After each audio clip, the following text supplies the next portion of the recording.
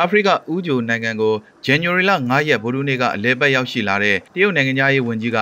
Eritrea အပေါ်တစ်ဖက်သက်ဒဏ်ခတ်ပိတ်ဆို့မှုတွေကိုစန့်ကျင်ကြောင်းထုတ်ဖော်ပြောကြားခဲ့ပါတယ်။အိန္ဒိချင်းအီသီယိုးပီးယားမှာရက်ဆက်ကြမ်းကြုတ်တဲ့ပဋိပက္ခတွေနဲ့ပတ်သက်ပြီး S Mara ကတရားမဲမှုနဲ့အကျင့်ပြတ်မှုလို့ဒစိမ့်တက်ထားတဲ့လှုပ်ရှားမှုတစ်ခုအတွက်အမေရိကန်က Eritrea နိုင်ငံအပေါ်ယမန်နှစ်ကစပြီးဒဏ်ခတ်ပိတ်ဆို့မှုတွေချမှတ်ခဲ့ပါတယ်။ Eritrea နဲ့အီသီယိုးပီးယားတပ်ဖွဲ့တွေဟာစစ်ပေးတဲ့မြောက်ပိုင်းဒေသတီဂရေးမှာမဒိန်ကျင့်မှုတွေနဲ့အစုလိုက်ပြုံလိုက်တပ်ဖြတ်မှုတွေကိုကျူးလွန်ခဲ့တယ်လို့ဆွဆွဲခံထားရပြီး S Mara ကို၎င်းရဲ့တပ်တွေရုပ်သိမ်းဖို့ဝါရှင်တန်ကအကြိမ်ကြိမ်တိုက်တွန်းထားပါတယ်။ တရုတ်နိုင်ငံသားရေးဝန်ကြီးဝမ်ယီဟာ၎င်းရဲ့သုံးနိုင်ငံအာဖရိကခရီးစဉ်ပထမအကြော့အဖြစ်အီရီထရီယာကိုရောက်ရှိလာပြီးသမ္မတ ICE အဖဝါဂီနဲ့နိုင်ငံသားရေးဝန်ကြီးအိုစမန်ဆာလက်တိုနဲ့ဗိုလ်ဒူးနေကတွေ့ဆုံဆွေးနွေးခဲ့ပါတယ်။ငြိမ်းချမ်းရေး၊ဖွံ့ဖြိုးတိုးတက်ရေး၊တရားမျှတမှု၊တန်းတူညီမျှမှု၊ဒီမိုကရေစီနဲ့လွတ်လပ်မှုစတာတွေဟာလူသားအလုံးအတွက် ဘုံတန်ဖိုးများဖြစ်တာကြောင့်ဒီမိုကရေစီအရေးနဲ့လူ့အခွင့်အရေးကိုအကြောင်းပြ၍